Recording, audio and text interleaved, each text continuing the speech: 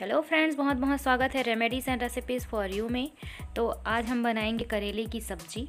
तो चलिए हम बनाना स्टार्ट करते हैं करेले की सब्ज़ी। तो सब करेले को हमने सबसे पहले वॉश कर लिया है। उसके बाद हम करेले को इस तरह से गोल गोल शेप में काट लेंगे। काटने के बाद इसे हम आधा घंटे के लिए नमक पानी में डुबा कर रख देंगे। तो अब हम करेले को फ्राई करेंगे। तो उसके लिए हमने तेल लिया है और तेल जब गर्म हो जाएगा तब हम इसमें करेला ऐड करेंगे। करेले का पानी जो है हमने निकाल लिया था और इसको अच्छे से सुखा लिया था। करेले का पानी बिल्कुल भी नहीं है इसमें और इसको हम 15 से 20 मिनट तक फ्राई करेंगे। तो अब ये हल्का सा फ्राई हो चुका है। देखिए बहुत ही अच्छा कलर आया है करेले का और नमक पानी में डुबा करके रखने से जो है इसका कड़वापन थोड़ा सा कम हो जाता है। इसीलिए हम उसे डुबा करके रखते हैं। तो अब हम इसमें प्याज डालेंगे, जिसको हमने काट करके डाला है। अब इसे हम अच्छे से पकाएँगे। जब ये करेले थोड़े से और फ्राई हो जाएँगे, तब हम इसमें हल्दी पाउडर डालेंगे।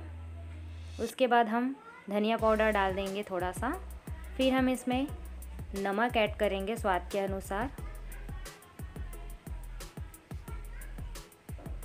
उसके बाद थोड़ी सी लाल मिर्च पाउडर डालेंगे।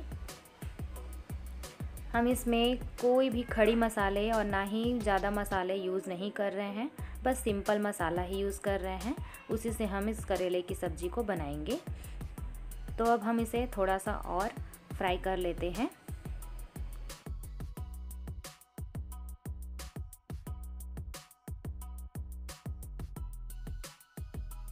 तो अब ये फ्राई हो चुके हैं थोड़े से तो अब हम इसमें टमाटर ऐड कर देते हैं लास्ट में। फिर इसे थोड़ा सा हम पकाने के लिए रख देते हैं। इसे हम पाँच से दस मिनट के लिए और पकाएँगे अच्छे से। तो देखिए, अब ये पक गए हैं। टमाटर जो भी अच्छे से पक गया है, अब इसको हम मिला लेते हैं। इस तरह से हम इसे मिलाएँगे अब।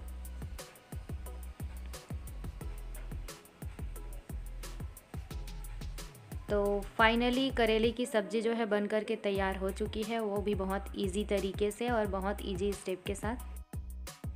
तो अगर आप इस तरीके से करेले की सब्ज़ी बनाते हैं तो करेले की सब्ज़ी जो है बिल्कुल कड़वे नहीं लगते हैं और बच्चे भी इसे आसानी से खा सकते हैं। बिल्कुल ना नहीं कहेंगे बच्चे।